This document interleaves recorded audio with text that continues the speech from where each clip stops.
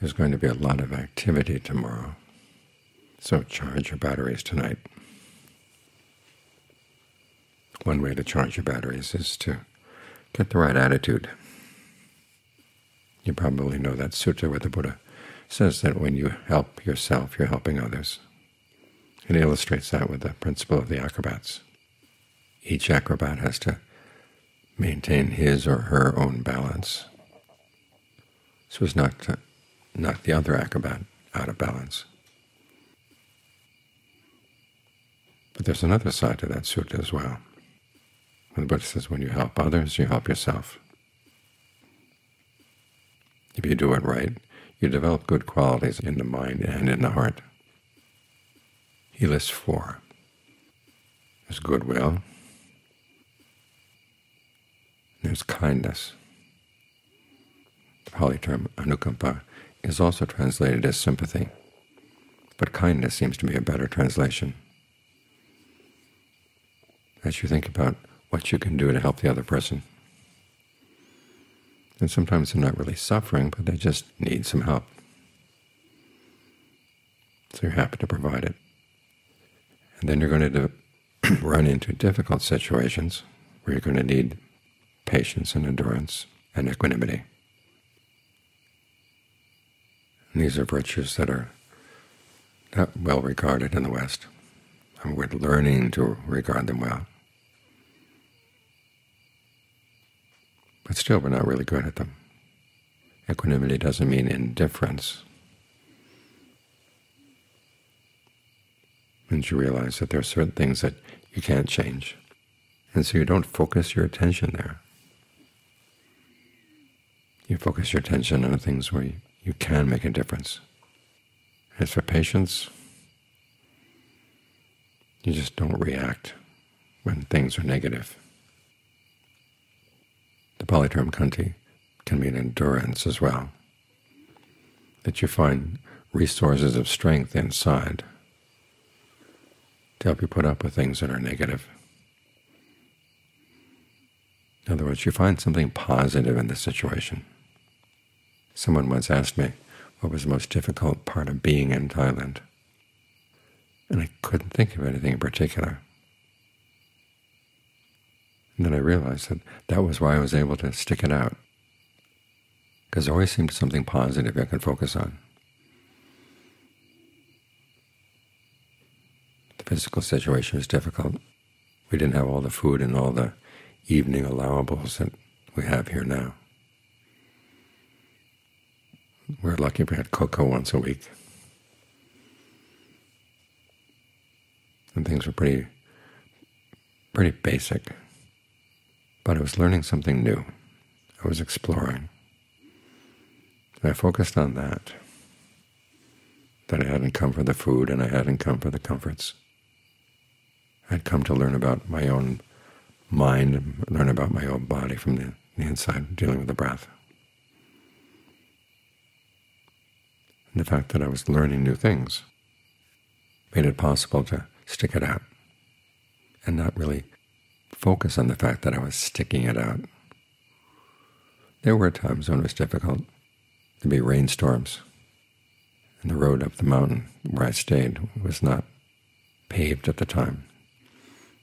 So I'd slog up in the evening and have about an inch or two of mud on my shoes that I'd have to scrape off the place where I was staying was not totally closed in.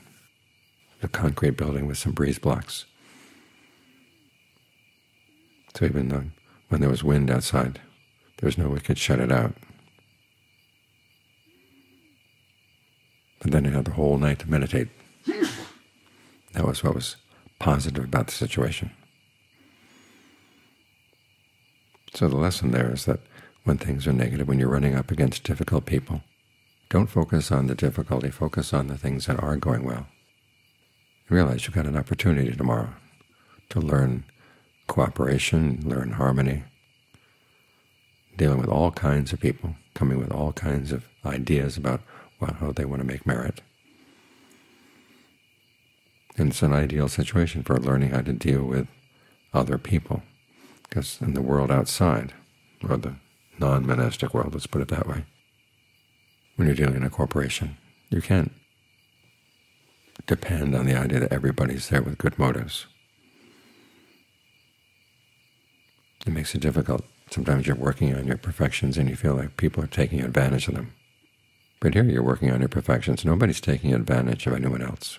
We're all here voluntarily. We're all here to do good. It's just that our ideas about good and our ability to do the good are not equal. Ajaan Lee's image is of a human hand. He says, look at your fingers. They're all different lengths. If your fingers were all the same length, he said, you'd have the hands of a monster.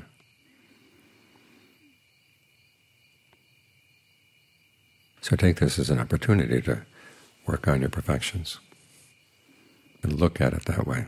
That's bringing the right attitude to the event. Then the other way of charging your batteries, of course, is to work on your concentration. Find your breath in your body. Notice how it feels. And then notice how you can change how it feels by the way you perceive it. Think of it as diffusing throughout the body. Your awareness is diffuse throughout the body.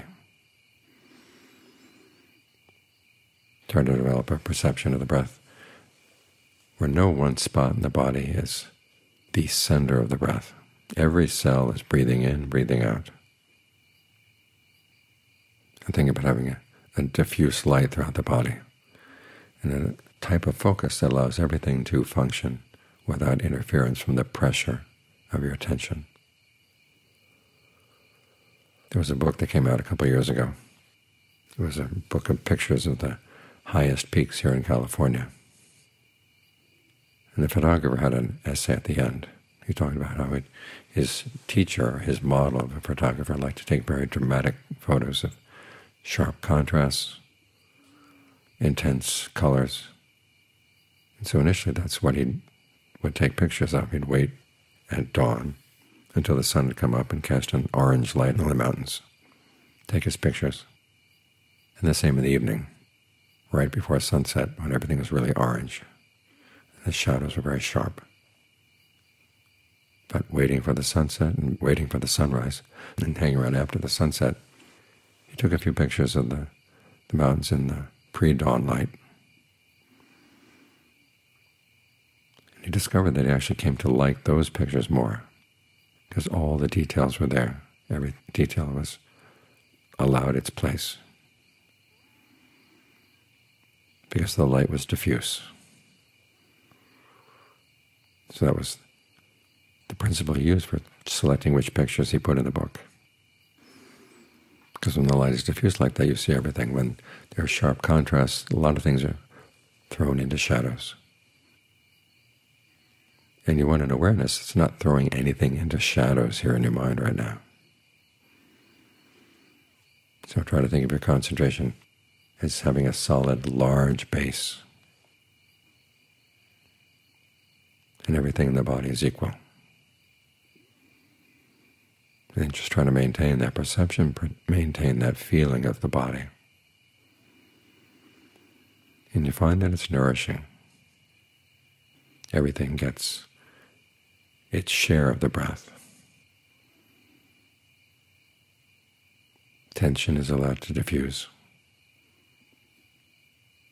And the mind can settle down naturally.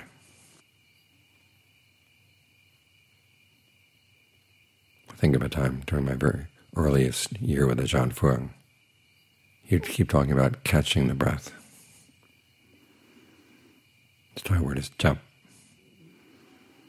And so I'd try to tense up around the breath to catch it, and that just made things worse.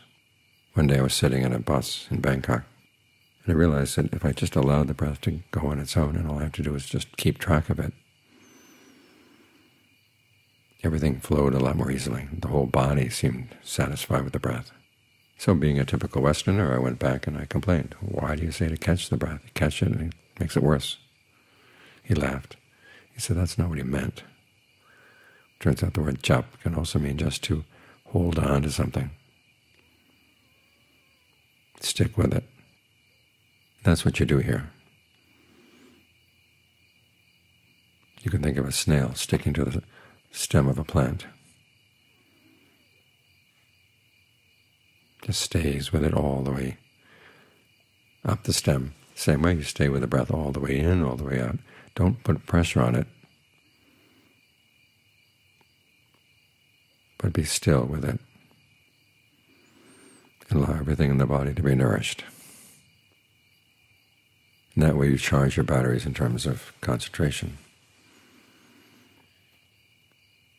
Course, you don't want to be concentrated like this only when you're sitting here with your eyes closed. You should have a sense of this foundation that you carry with you through the day. It's not just one more ball that you have to juggle. It's where you stand as you're dealing with your other responsibilities. Make this your home base. Carry it through different situations. And you find that the mind feels a lot more solid, feels a lot more secure, which helps with its patience and equanimity and its willingness to be kind and have goodwill for others, because it's coming from a position of strength and well-being. So this is one of those cases where you help others and you help yourself.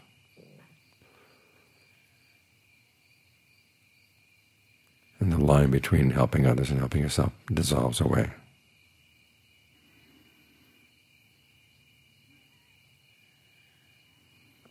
sometimes said that Theravada is selfish. We're looking out only after our, our own individual good. But you'll see tomorrow that the people who come, who hand out the food, who bring the offerings, they're not following a selfish religion. Decades back when Westerners went to study Buddhism in Thailand, they would read up on the text, and the text sounded pretty dark. It was all about suffering, karma, heavy stuff. And they went and they found that the Thais were very joyful in their religion. And their first conclusion was that the Thais didn't understand their religion. Of course, the problem was that the scholars didn't understand. Because this is a religion where you're happy and your happiness spreads around. If your happiness is based on wealth, gaining status, gaining praise, gaining sensual pleasures, then it's going to create divisions.